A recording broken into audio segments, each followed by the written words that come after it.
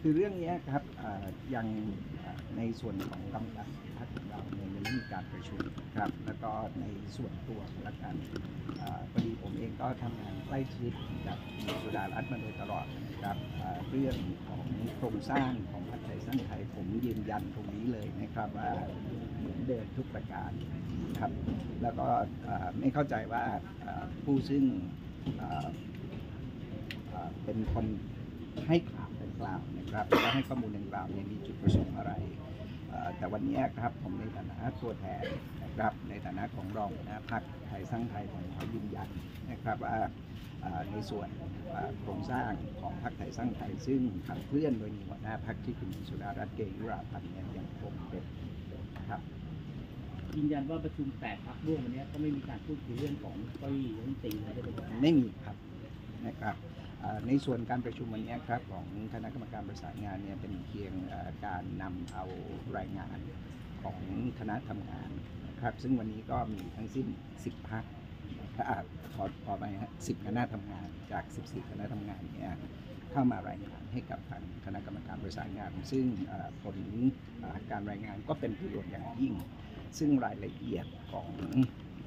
ผลการประชุมของทั้ง10คณะทำงานนี้ก็คงจะต้องถูกนำเสนอให้กับที่ประชุมของเออการประชุมของหัวหน้าพักในวันที่ 22 ครับนี่ในทางปฏิบัติพอจะเป็นไปได้ไหมคะถ้าเกิดสมมติว่าในลำดับต้นๆที่เป็นสอบบัญชีรายชื่อ ต้องไปเป็นรัฐมนตรีอะไรอย่างเงี้ยอาจจะลาออกแล้วขยับให้ลำดับหลังขึ้นมาทำหน้าที่ในสภาแทนนะคะผมขออนุญาตพูดเอ่อในภาพที่เกิดปรากฏแล้วกันนะครับเอ่ออย่างในปี 2562เอ่อ ก็มีสสบัญชีรายชื่อหลายท่านนะครับที่ได้รับมอบหมายให้ไปทำหน้าที่ในฝ่ายบริหารหลายคนนะครับอาจจะไม่ใช่ทุกคน หลายคนก็ลาออกจากฝ่ายนิติบัญญัติเพื่อไปรับผิดชอบในส่วนของฝ่ายบริหาร ซึ่งซึ่งก็อันนี้ก็แล้วแต่นโยบายของแต่ละพรรคครับอย่างไทยสร้างไทยมีนโยบายยังไงบ้างถ้าเกิดสมมติว่าทางสสของพรรคเนี่ยต้องไปดำรงตำแหน่งฝ่ายบริหารนะคะ เอ่อเรื่องนี้เป็นเรื่องที่คงเอ่อไม่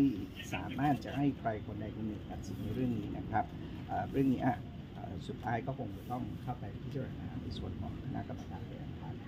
ครับลึกๆแล้วมีปัญหาอะไรไหมครับเพราะว่ามีหลายเวทีแล้วคุณหญิงไม่ได้เข้าร่วมในการประชุมแล้วก็มาแถลงข่าวด้วยครับอ่ายืนยันเลยครับว่าไม่มีนะครับที่ผ่านมาที่อ่าไม่เห็นคุณหญิง แต่ไปเห็นหน้าของผมแทนนะครับก็เนื่องจากในช่วงตรงนั้นเนี่ยท่านไม่อยู่กันเช่นก่อนหน้านี้นะครับ ท่านก็เดินทางไปพักผ่อนกับครอบครัวที่ประเทศญี่ปุ่นก่อนไปท่านก็สั่งงานไว้เทียบครับ ส่วนคนที่เหลือที่ได้รับมอบหมายก็ไปปฏิบัติหน้าที่ท่านสำหรับวันนี้ท่านกลับมาแล้วนะครับ แต่ว่าในส่วนของการประชุมวันนี้ที่พรรคไทยสร้างไทยเป็นส่วนของคณะกรรมการประสานงานซึ่งมีผมเป็นกรรมการ ก็ยังคงเป็นอ้าผมครับ แต่ว่าวันที่ 22 ก็คงจะเป็นคุณหญิงสุดารัตน์ครับก่อนหน้านี้ค่ะคุณหญิงเคยไปเปรยไว้อะค่ะว่าจะทำงานในการเมืองไม่นานหลังจากนั้นก็จะผลักดันให้กับคนในพรรคอะเข้ามาทำหน้าที่เบื้องหน้าแทน ตรงนี้ทางคุณอนุดิตได้รับการท้าบทามที่จะมาทำหน้าที่หัวหน้าพรรคอะไรอย่างนี้แทนบ้างไหมคะอ่ายังไม่ถึงตรงนั้นครับ แต่ผมยืนยันคำพูดที่ท่านพูด ท่านพูดแบบนี้จริงและท่านก็มีเจตนาที่จะทำพรรคไทยสร้างไทยให้เป็นสถาบันทางการเมืองอ่า เพราะฉะนั้นเนยนะครับอ่าเมื่อไหร่ที่ลงหลักปักฐาน แล้วก็มีพรรคมีความมั่นคงพร้อมที่จะพัฒนาขึ้นเป็นสสถาบันการเมืองเนี่ยผมคิดว่าท่านก็คงถึงเวลานู้นนะครับท่านท่านถึงจะพิจารณาครับมองว่ากระแสข่าวที่ออกมาเป็นการโยนหินถามทางเพื่อเป็นเกี่ยวกับเก้าอี้รัฐมนตรีหรือเปล่าครับอ่าผมคิดว่าอ่าไม่น่าจะเกี่ยวกันนะครับ เพราะจริง ๆ แล้วการปล่อยข่าวแล้วมันเป็นอ่า เนื้อข่าวซึ่งสามารถจะย้อนกลับมาสอบถามกับคนที่ทำหน้าที่เป็นฝ่ายบริหารของพรรคได้สุดท้ายความจริงก็ต้องปรากฏมันอาจจะเกิดจากการพูดเล่นพูดหัวกันหรือเปล่าผมไม่ทราครับสุดท้ายก็เลยกลายเป็นข่าวซึ่งลือกัน ครับ แต่วันนี้ผมออกมายืนยันแล้วนะครับ ผมก็ยืนยันตามคำพูดที่เอ่อได้ให้สัมภาษณ์ในวันนี้ครับ อย่างไทยสร้างไทยเองมีสสหกคนนี่น่าจะมีโควต้าเก้าอี้รัฐมนตรีไหมคะ ตามหลักการตามธรรมเนียมปฏิบัติแล้วอะค่ะ เอ่อตามหลักการก็คงต้องอยู่แล้วครับสำหรับเอ่อการไปร่วมเอ่อเป็นพรรคของพรรคร่วมรัฐบาลอย่างครับกระทรแต่วงว่าขณะขณะนี้ยังไม่ได้มีการพูดคุยครับ อย่างกระทรวงท่องเที่ยวนี่เป็นไปได้นะคะตามกระแสข่าวคือ ผมว่าจริง ๆ ก็ขึ้นอยู่กับข้อยุติของอาคณะกรรมการซึ่งทำหน้าที่ในการเจรจาครับซึ่งถ้าคณะกรรมการเจรจาเขาจะให้กระทรวงคมนาคมเรารีบนะครับ แล้วพักสร้างใครสร้างภายได้ผมที่นั่งเนี่ยควรจะได้เก้าอี้อีกประมาณหนึ่งหรือสองครับคืออยู่ที่คณะกรรมการเจรจาครับซึ่งซึ่งตอนนี้ยังไม่ได้มีคณะกรรมการเจรจาเข้ามาเจรจากับพรรคแต่สังครับ ตอนนี้เราพูดกันถึงแต่เรื่อง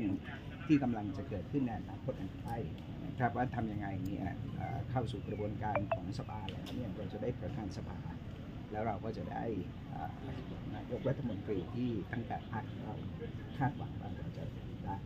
ตอนนี้ภายในพรรคไทยสร้างไทยเองมีการวางตัวบุคคลที่จะเป็นรัฐมนตรีไว้หรือยังยังไม่มีแต่พักรวมเองก็ยังไม่ได้วางใช่ไหมครับเพราะว่ามันใกล้จะถึงการจัดตั้งรัฐบาลในทุกทีสัปดาห์นี้ครับ คือคือจริงๆนายกรัฐมนตรีครับท่านจะต้องเป็นคนฟอร์มรัฐบาลเพราะฉะนั้นเนี่ยการคิดกันเอาไว้ก่อน มันก็สามารถคิดได้ครับ แต่สุดท้ายครับการที่จะเกิดเป็นคณะรัฐมนตรีขึ้น ต้องดูว่าท่านนายกรัฐมนตรีท่านท่านท่านจะฟอร์มรัฐบาลในตำแหน่งเรื่องของหัวหน้าพักไท ยสร้างไทยครับถ้าเกิดว่าในภายภาคหน้า มีการมอบหมายให้คุณอนุดิตขึ้นแทนคุณหนึ่งครับอันนี้พร้อมไหมครับถ้าดูสถานการณ์คือถ้าคณะกรรมการบริหารพรรคนะครับโดยเสียงส่วนใหญ่ ถ้าเกิดมีการมอบหมาย ผมเชื่อว่ามันคงไม่ใช่ผมเพียงคนเดียวท่านใดก็แล้วแต่ที่ถูกมอบหมายแล้วเรามีความ